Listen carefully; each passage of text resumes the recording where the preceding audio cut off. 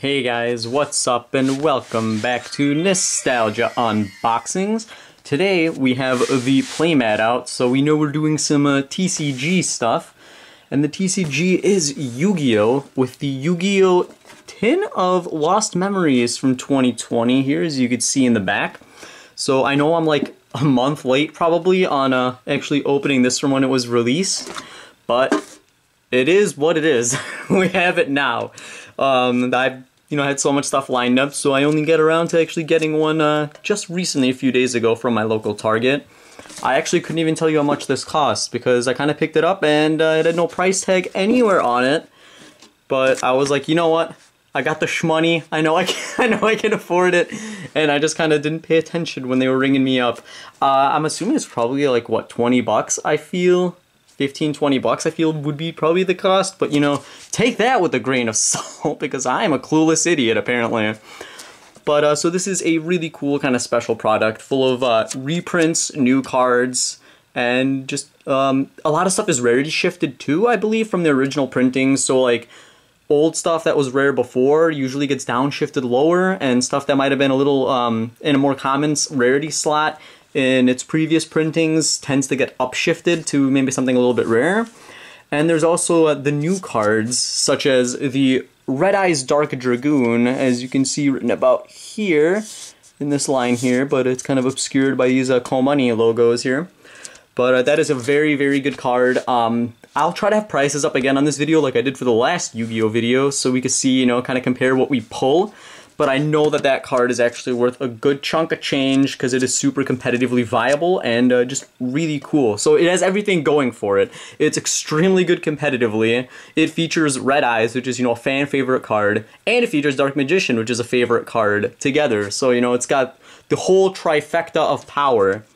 And uh, there's also some other really good reprints that I know of in this set. Um, a lot of the Danger cards are reprinted. Apollousa, Bow of the Goddess, another super, super powerful, competitively viable card is reprinted in a lower rarity, I believe, from what it was originally. And uh, there's a bunch of other interesting stuff too. I think, what is it, Borreload Savage Dragon is in this set as well. We're going to use Gerber the knife here to uh, pop the shrink wrap. So there's a lot of interesting stuff that I know that we can rip from here, so I think it'll be a very fun unboxing. Also, also with all the Yu-Gi-Oh stuff that I've been unboxing recently, I actually wanted this for the tin as well so I could store all my cards because right now they're kind of just like sitting around behind me. I know you guys can't see. I don't know why I'm, I'm like pointing with my thumb behind me. But uh, I have all my all my stuff kind of just like chilling right now, kind of out in the open. So here we go, we pop this uh, little case. Also, it looks really, really cool. I love the design of it. It's just, um, I believe it's supposed to kind of look like what the box the Millennium Puzzle came in was. It's either that or it's just like the tablet showing the prophecy. It might be the tablet showing the prophecy. But it's pretty sweet. Uh, I love the design of it. It's very aesthetically pleasing. I'm a big sucker for like shiny gold things. Just because, I don't know, I really like the look of it. So I'm to be very happy to store all my stuff in here. Oh, oh. How does that even happen? Look, it's like all dinged up on the inside plastic. Wow, that's really odd. Like, there's no dings that I can see on the... Oh, wait. There actually is a little bit of a ding here. Wow, that kind of sucks, but okay. Let's uh take that... Uh, hope that wasn't too loud. Alright, so let's take that over there, and we have our three gigantic packs here. These things are freaking massive compared to uh, the standard bread and butter size packs for Yu-Gi-Oh! So let's get right into it here. 2020 Tin of Lost Memories Mega Pack.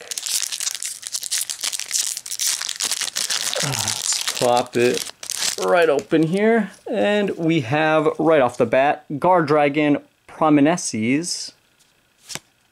World Legacy Guardragon Mardark. Ooh, know that card from Duel Links. Tenyi Spirit Mapura, Marincess Current, Dark Factory of More Production, so retrain of mass production, I guess.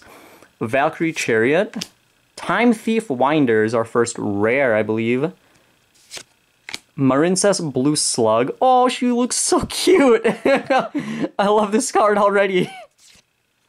Ooh, World Legacy Guard Dragon is our I guess, is this the ultra rare or is this the prismatic secret rare? Well, we'll find out. That would be the prismatic then, I guess.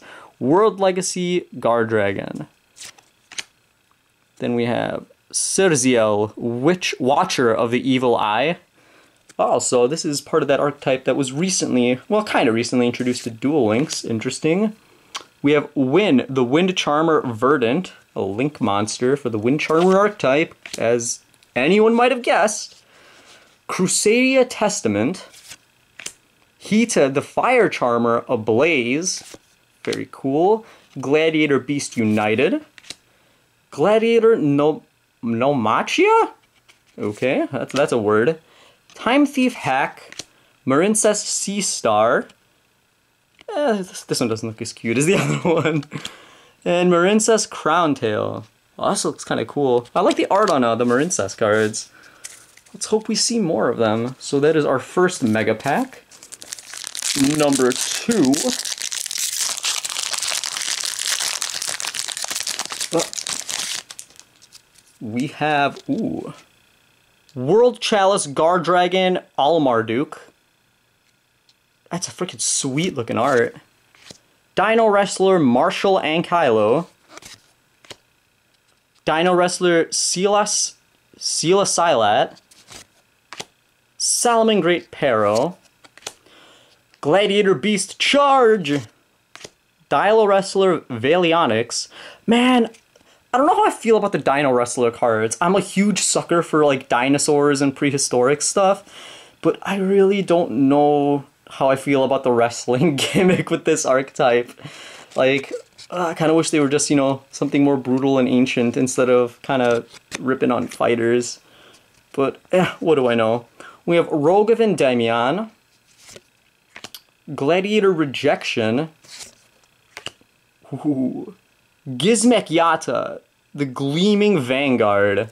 That is a very pretty card for our Prismatic. Strength and Unity. Oh, Blue Eye support card. Very cool. Marincess Coral Anemone. Oh, this one looks really cool too. Yeah, I freaking dig this archetype. I'm a sucker for cute things. Marincess Wave. Yes, give me all the Marincess support. Oh, Marincess Mandarin. Oh, it's like a Mandarin Goby, I think. Oh, that's super cute. You should look it up, by the way. A very pretty fish that kind of dwells on the bottom and tends to eat uh, copepods and little tiny crustaceans in the wild. But they're very, very pretty, if I do say so myself. Tyrant Dino Fusion. Salamangreat Burning Shell. Guardragon Reincarnation.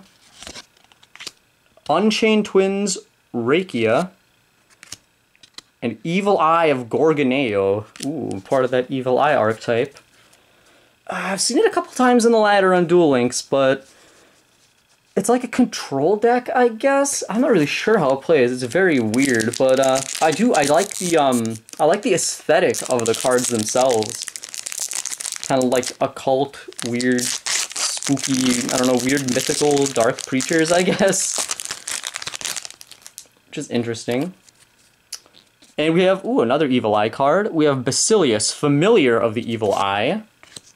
We have Dino Wrestler Martial Ampelo. Mordschlag. I hope I pronounced that right. Gladiator Beast Comeback. Gladiator Beast Atorix. Neospace Connector. Whitefish Salvage. Zerziel, ruler of the evil eyed. So I'm assuming this is the boss monster of the archetype, the official, like, final boss monster. Very cool. Shaman of the Tenyi. That looks pretty sweet, too. We have Witchcrafter Masterpiece. Oh, man. I don't like this. I don't like these cards. They're too damn strong in Duel Links. Bad experiences. Marincess Marbled Rock. Ooh, another one. Very cool. Barricade Borg Blocker. Witchcrafter Draping. Tyrant Farm. Xyz Slydolphin. Nebula Dragon. Crusher Run. Guardragon, Garmides, and that is it. Wow, so we didn't pull an Apollousa, we didn't pull a Dragoon, we didn't pull Borreload Savage Dragon, we didn't pull the other, there's another Boral Dragon in this, and I forgot what it was called. I think it's like Boral, Borreload Exceed Dragon, maybe? Which kind of sucks but um i'm hoping we still got some good stuff. I'm not exactly sure on all the prices but uh, you know we'll have them up in the final product that you guys will be watching right now which is kind of some weird time traveling stuff i guess.